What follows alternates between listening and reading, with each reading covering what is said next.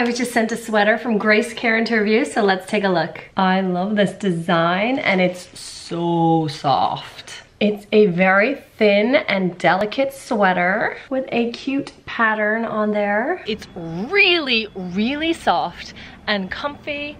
I got the medium, which is true to size. The sleeve, really cute little touch.